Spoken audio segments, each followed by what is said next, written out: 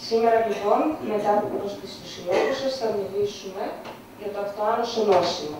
Τι είναι αυτό; Οι ρευματοπάθειες και τα αυτοάνωσο νοσήματα ήταν το επίκεντρο ενημερωτικής εκδήλωσης που πραγματοποίησε το Περιφερειακό Σωματείο Συνταξιούχων ΔΕΗ Δυτικής Μακεδονίας. Η εκδήλωση έγινε στην αίθουσα συνεδριάσεων του Περιφερειακού Συμβουλίου στην Κοζάνη.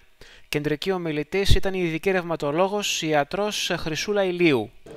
Το Περιφερειακό Σωματείο Συνταξιούχων ΔΕΗ Δυτικής Μακεδονίας Αρχαιολάου 25 στα πλαίσια της κοινωνικής αντίληψης και προσφοράς όπως κάθε χρόνο έτσι και φέτος διοργανώνει η μερίδα με θέμα ιατρικού ενδιαφέροντος.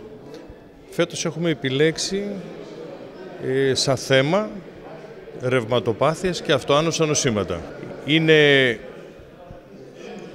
κάτι το οποίο απασχολεί τους συνταξιούχους και ιδιαίτερα τα τελευταία χρόνια που έχουμε υποστεί πάρα πολλές μειώσεις στους μισθούς μας με αποτέλεσμα να έχουμε παραμελήσει λίγο την υγεία. Θέλω να πιστεύω ότι σήμερα θα έχουμε μια καλή ενημέρωση και θέλω να ευχηθώ τους φίλους, τα μέλη και όλη την κοινωνία της Κοζάνης με υγεία να περάσουμε τις γιορτές των Χριστουγέννων και με υγεία να, υγεία να έχουμε σε όλο το καινούριο χρόνο του 2019.